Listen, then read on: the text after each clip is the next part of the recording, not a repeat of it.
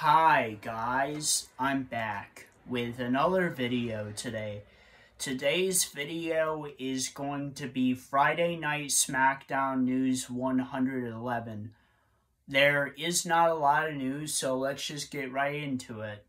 So, before I start the video, I would like to say that this news video might be shorter than usual uh, because not a lot happened on SmackDown tonight, to be honest.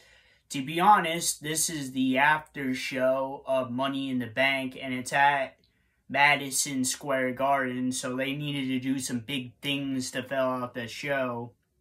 And that's basically what this show is about. But let's get into it. So, the first thing, the Usos start off Friday Night SmackDown. The Usos segment interrupted by Paul Heyman and Solo Sikoa. Paul Heyman segment.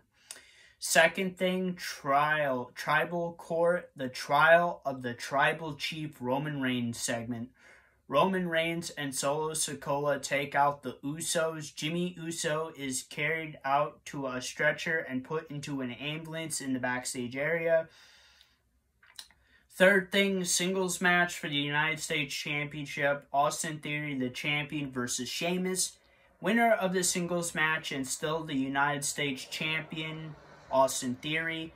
Fourth thing, Grayson Waller effect, special guest Edge segment. Fifth thing, singles match, AJ Styles versus Karrion Kross.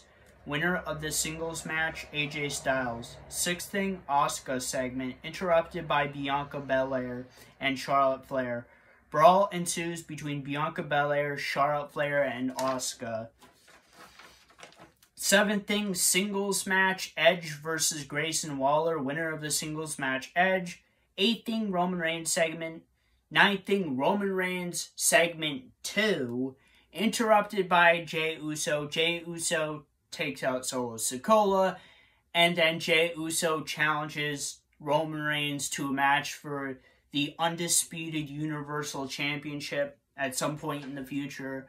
I know it's probably going to be the planned match for SummerSlam, but that's what's going on.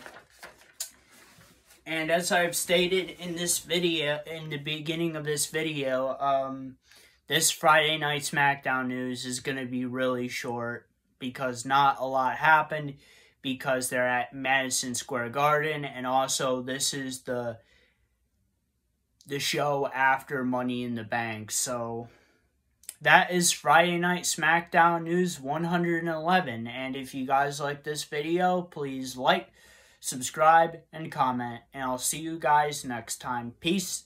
Period.